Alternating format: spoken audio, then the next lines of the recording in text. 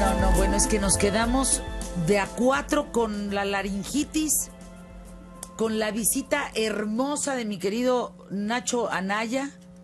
Eh, gracias por, por saludarnos, mi querido Nacho. Y aquí está el mero, mero petatero de Somoza Musi, CI.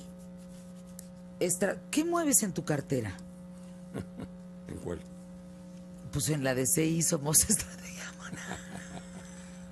En la que traes ahí Buenas tardes. No estaba sacando un, un acordeón. ¿no? un acordeón. Así es, como en la escuela. ¿Cómo un hombre va a necesitar un acordeón? Claro. Por los teléfonos, Por pero por lo demás te lo sabes toditito. pero de los teléfonos los no. teléfonos no. ¿Estás de acuerdo? Así es. ¿Cómo estás, mi querido Bien, Manuel Somos? muy buenas tardes. Con laringitis. Pero bueno, ahí vamos. Todos regre Es que de veras está para no salir. Sí, hoy sí hacía frío en la mañana. Mucho. Me da mucho gusto saludarte. Igualmente, Fer. ¿Qué panorama estás encontrando en México? ¿Qué panorama vislumbraron el lunes tu comité para tomar las decisiones de esta semana? ¿Qué dijo el comité, Manuel Somoza, que sí se podía y qué dijo que esta semana definitivamente ni pensarlo? Bueno, mira, En cuestión de dineros. claro, nosotros eh, no somos tan fatalistas como mucha gente está haciendo en este principio de año. Eh, hay voces muy negativas, muy críticas, muy temerosas sobre varios aspectos. Muchos analistas piensan que el mundo está en el umbral de entrar en una recesión, ¿no? que China va a tener un aterrizaje forzoso, lo cual quiere decir que de crecer eh, al 10% de repente se va a encontrar con cero crecimiento o mínimo crecimiento. En fin, hay, hay, hay voces muy, muy negativas. Y nosotros no somos tanto, la verdad que somos más realistas. Primero, creo que del mal panorama con el que empezaron las tres primeras semanas del año hay algunas cosas que se han despejado. China. China ya salieron sus datos de crecimiento. El año pasado creció al 6.9%. El último trimestre del año pasado al 6.8%. Es probable que este año crezca un poco menos, pero nosotros creemos que va a crecer al 6.5%, que para una economía de ese tamaño nos parece bastante adecuado. Bueno, ¿qué daríamos nosotros por crecer al 6.5%? No, bueno, no quedaría cualquier país del mundo por crecer al 6.5%. Nadie va a crecer a esa tasa, con excepción a lo mejor de India, que este año también se ve bastante bien. Entonces, esa incógnita para nosotros está bastante despejada. Claro, hay mucha gente que dice, yo no le creo a los datos oficiales de China. Bueno, pues yo ahí no, no, no, no me atrevo a hacer interpretaciones, pero aunque las cifras pudieran estar algo manipuladas, todo el mundo no puede estar equivocado. Por ejemplo, el Fondo Monetario Internacional, el Banco Mundial, ven crecimientos arriba del 6% para China. Entonces, esa parte yo la, despejo como diciendo, bueno, poco a poco eh, la razón va a tener que entrar. Otro tema que siempre ha estado molestando, sobre todo en los últimos meses, es el incremento de las tasas de interés en Estados Unidos. Bueno, sabemos que van a crecer este año, creemos que van a crecer medio por ciento, es decir, van a terminar en diciembre en el 1%, y eso quiere decir que el dinero en Estados Unidos va a seguir estando muy barato.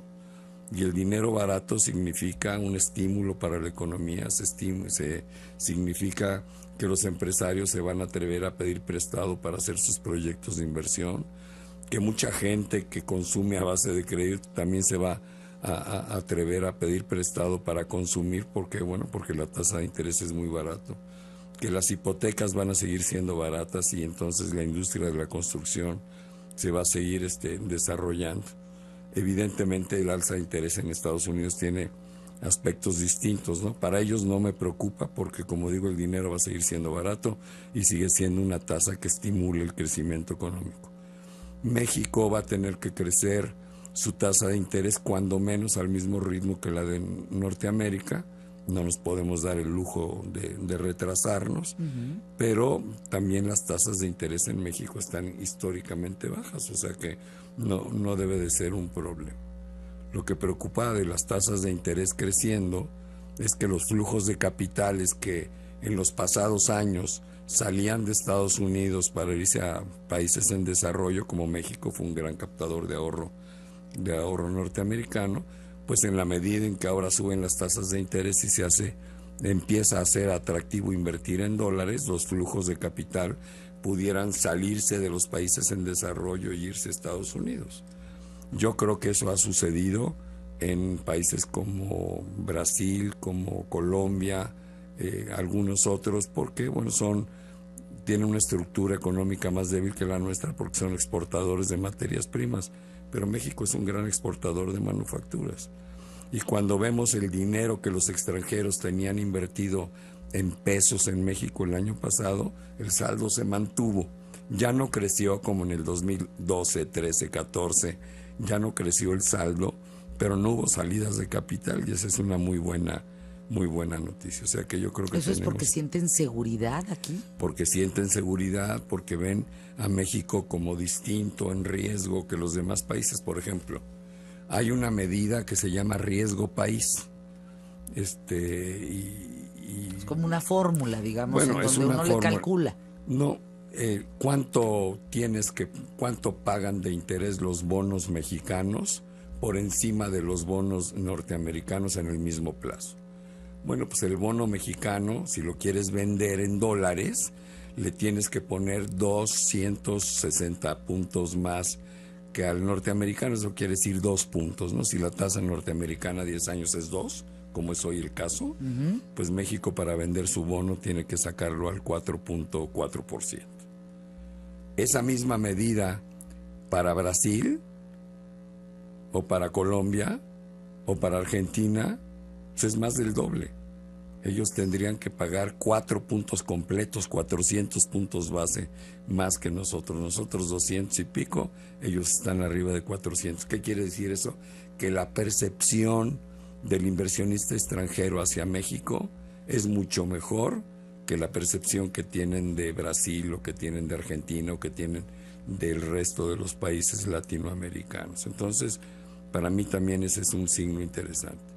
Algo que todavía nos va a seguir dando mucha guerra es el precio del petróleo. El precio del petróleo nos ha pegado a México eh, en forma, creo yo, exagerada, no porque seamos una, un país petrolizado, sin embargo la percepción de afuera cuando piensan en México creen que somos un país petrolizado y hace mucho que no lo somos. El petróleo representa una parte ya muy pequeña de nuestro Producto Interno Bruto, no somos una economía petrolizada, sin embargo, para el gobierno los ingresos del petróleo sí son muy importantes porque dada nuestra estructura fiscal, el gobierno mexicano se financia a través de los impuestos que le paga Pemex de una tercera parte del presupuesto.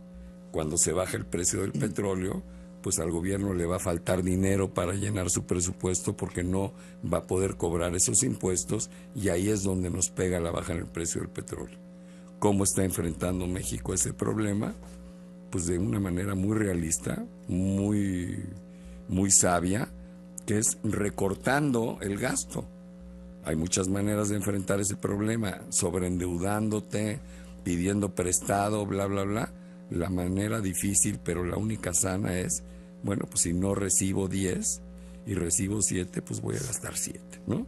Y es lo que está haciendo el gobierno mexicano, gastar menos, recortar los programas. ¿Por qué? Pues porque no tiene dinero. Y esta situación es difícil para el país, pero la vamos a vivir quizá los próximos dos años. Sin embargo, la estructura de las finanzas públicas mexicanas se mantienen muy sanas porque no te estás gastando más de lo que recibes, ¿no? Entonces, en resumen, somos moderadamente optimistas y en función de esto hemos eh, reorganizado nuestros portafolios de inversión, donde tenemos más o menos el 30% en renta variable. Creo que hay oportunidades muy interesantes y más ahora que las acciones en términos generales bajaron 10% en el mes.